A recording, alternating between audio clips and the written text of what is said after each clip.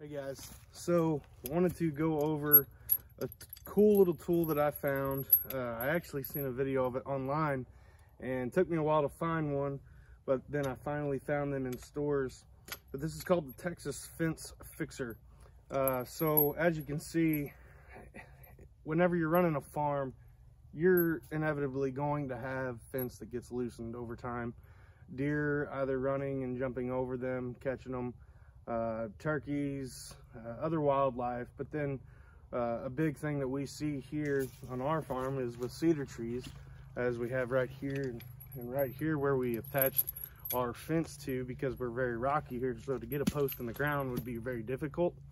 We will actually attach our fence to those cedar trees. But the thing about the cedar trees is they catch a lot of wind. So therefore, whenever they do that, it's gonna stretch your fence.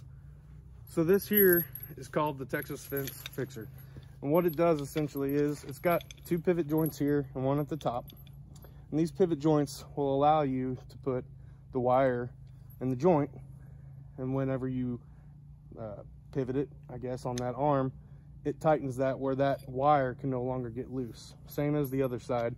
And once you get that wire into your joint, you tighten the mechanism and then you can take your chain, put it on the end, so then it cannot get any wider than what you had already tightened it to. So I'll give you a little demonstration. Once you get that tightened, then you take a piece of barbed wire, cut it 12 to 16 inches long, and then wrap it around, and that holds the tension because metal is very good in tension. It'll hold the tension on that strand whenever you release it from the mechanism. So I'll put on my gloves real quick and I'll show you how that would work.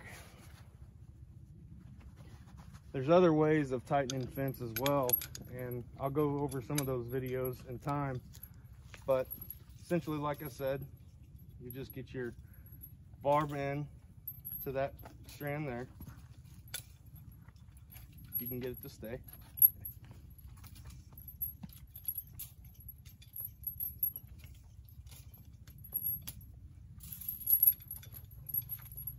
Do the same on this side. Now I've got it tight, so now I will just pull it to each other with my chain.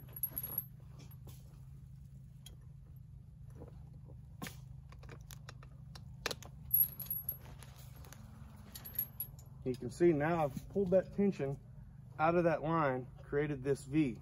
So now that I'll take my short piece that I've already pre-cut, kind of put it in the center, wrap it around.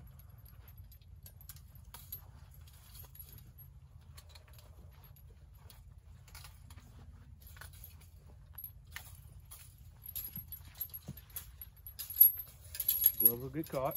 Do the same on the other side.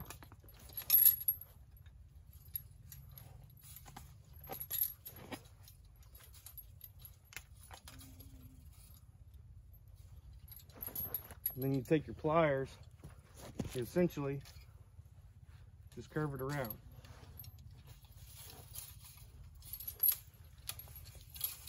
Until you get that tension pulled out of it.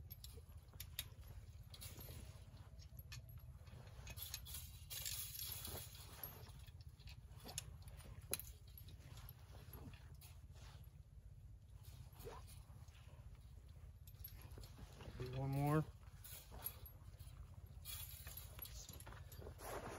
Now I'll release it.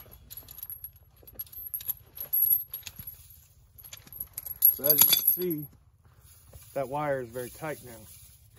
So now you can reattach it to the metal fence post that you may have or to whatever it is that you're actually securing your fence to.